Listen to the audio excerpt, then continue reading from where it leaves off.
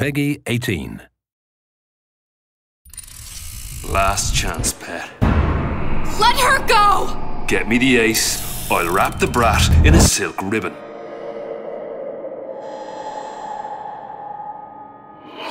It's a bad place.